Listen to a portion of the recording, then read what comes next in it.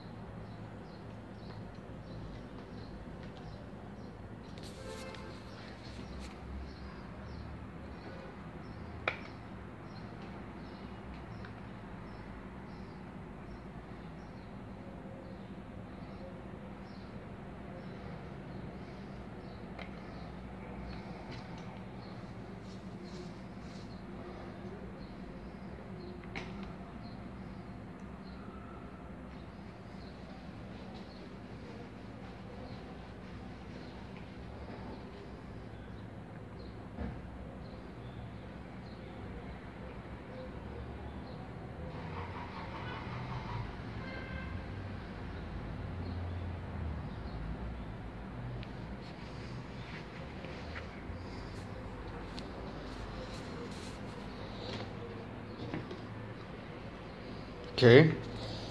Now it's starting. I will put the battery pack back to see what's if it's recognized or not.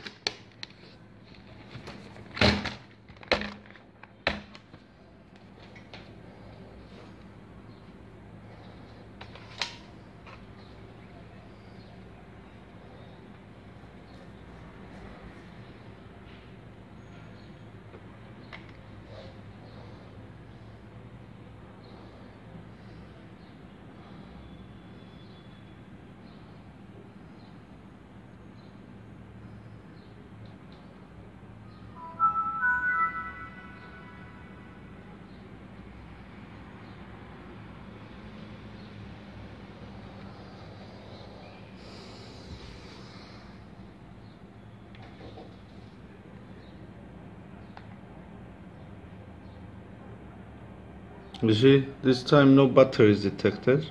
Sometimes it recognizes and it says it's 100%.